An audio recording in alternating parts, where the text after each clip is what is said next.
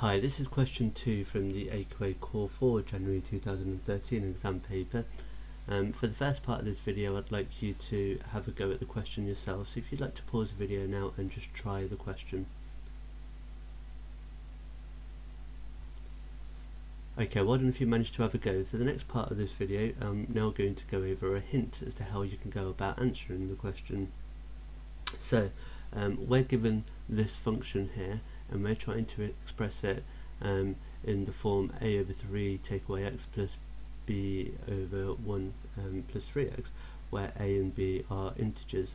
So um, we first of all want to say that this here is always equal to this here. So we're going to um, write it as an identity.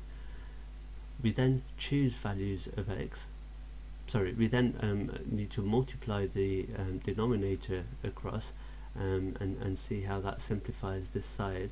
Um, we then want to choose values of x um, that are going to eliminate the a or the b so that we can work out um, what the what the values of a and b are. we can then go ahead and write it in this form. Okay, part B says um, find the first three terms of the binomial expansion um, in the form here. So for this question um, you may want to do um, the expansion of this here um, and the expansion of this here uh, and you can use the formula that's, that appears in the formula book to help you do that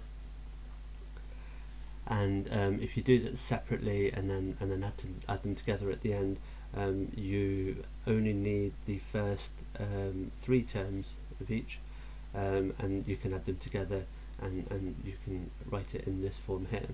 Um, uh, for part two you need to state why the binomial expansion cannot be expected to give a good approximation for um, 1x is equal to 0.4 well think about how this bit relates to this question here. So you're looking at how this bit relates to the question Okay, those are my hints. If you'd allow, um, like to stop the video and um, and have a go yourself, and I'll go over the answers shortly.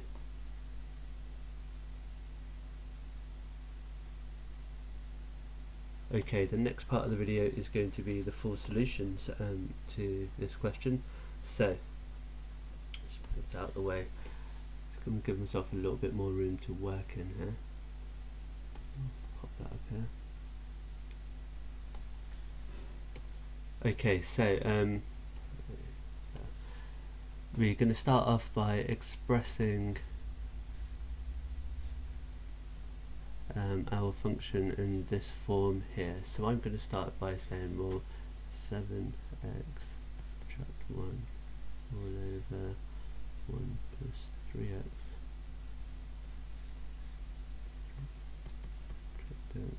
is always equal to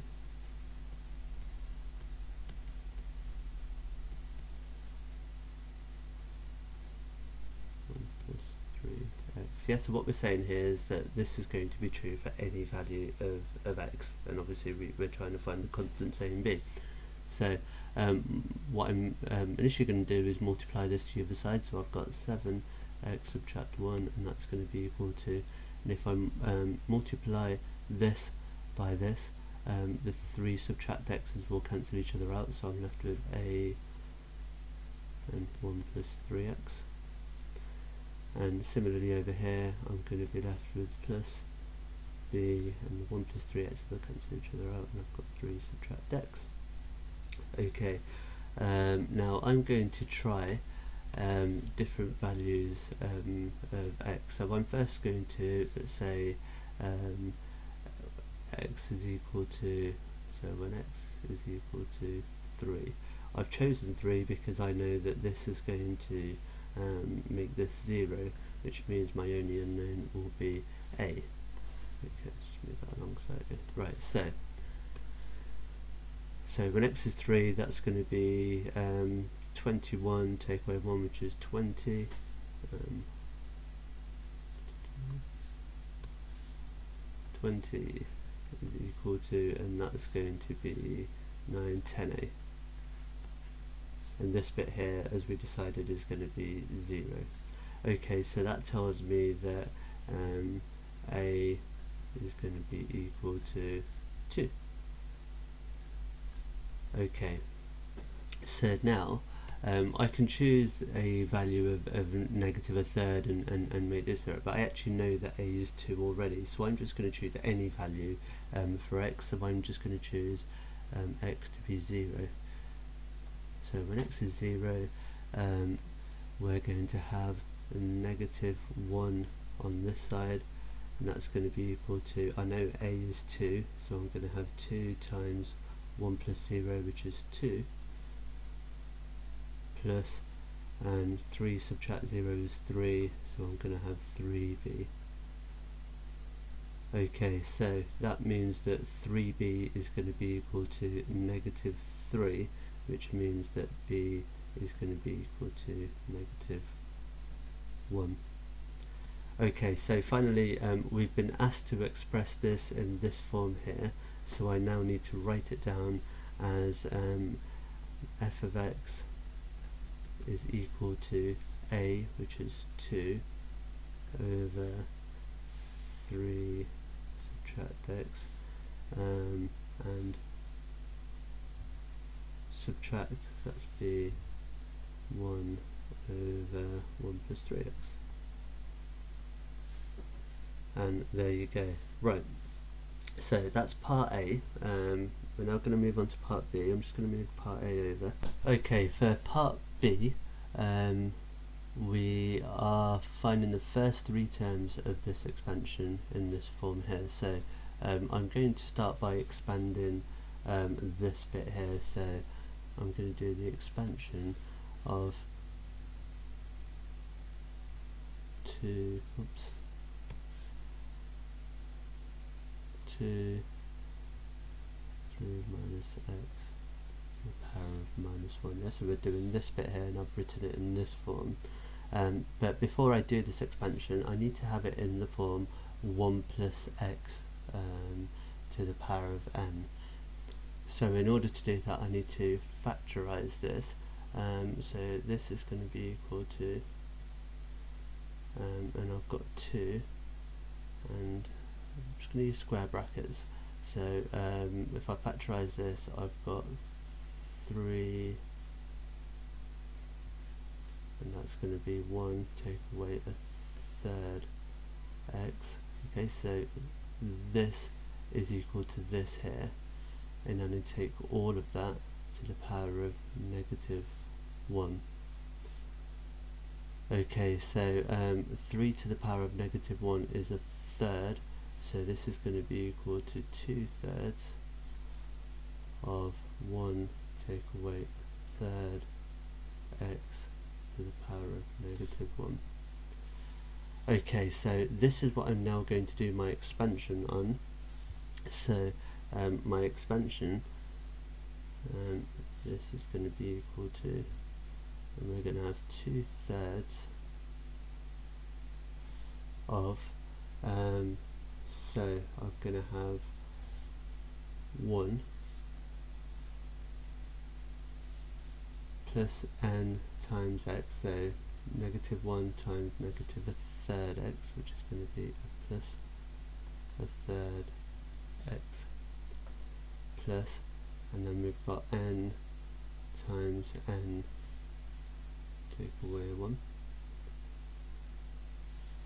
so that's going to be um, uh, minus 1 times minus 2 which is 2 over 1 times 2 which is just going to be 1 so it's going to be plus 1 lots of x squared. So that's going to be negative a third x squared which is going to be 1 ninth of x squared um, and we've got everything up to our x squared term there so that's going to be that okay now separately I'm going to work out the expansion of um, this bit here. So this time we've got 1 over 1 plus 3x, so that's going to be 1 plus 3x to the power of negative 1. So that's going to be um, equal to, and I don't need to change this in any way, it's already um, in this form, so I can start expanding it straight away. So again I'm going to have um, 1 plus n to the times x. So that's going to be subtract 3x.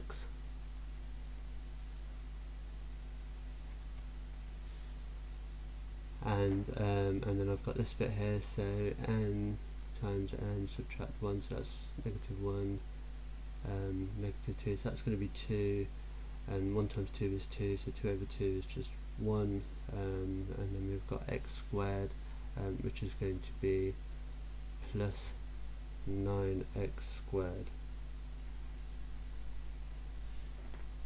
And um, there you go, we've got it all up to our x squared term. Okay, so now, um, in order to do the um, expansion of this, I would need to do um, this subtract this. So that means I need to do this subtract this. So um, my expansion is going to be 2 over 3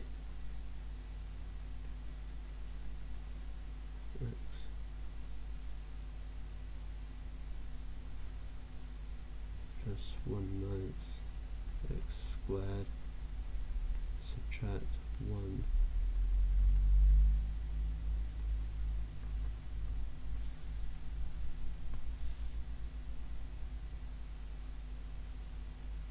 okay.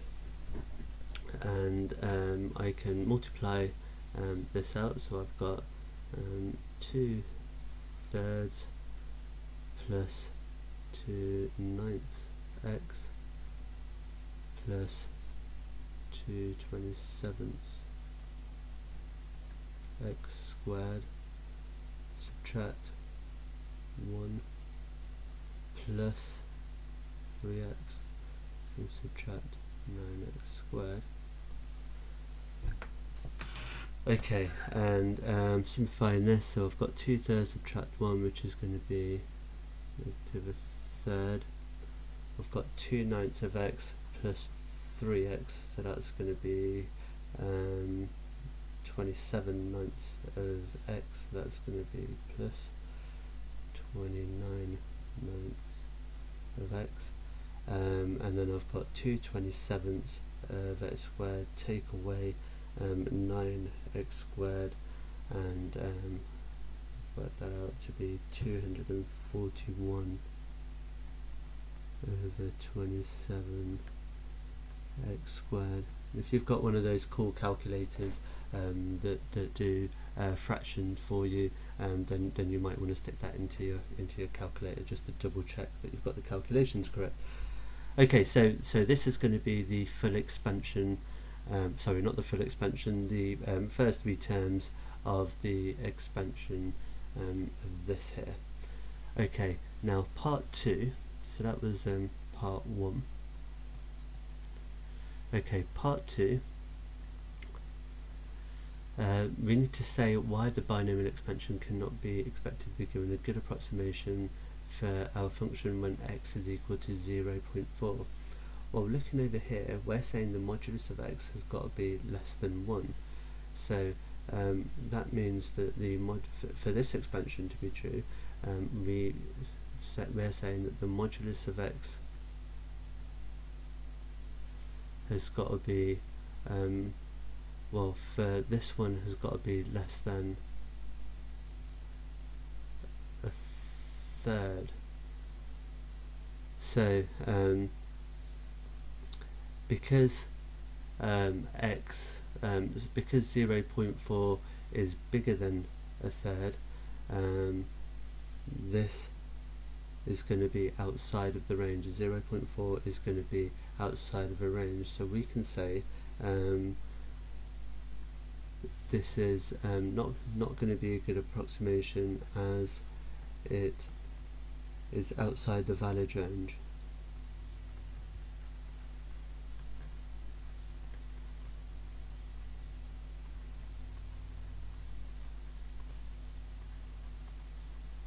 Outside the valid range, um, and our range is saying that the modulus of x has got to be less than a third of 0.333, which obviously this isn't.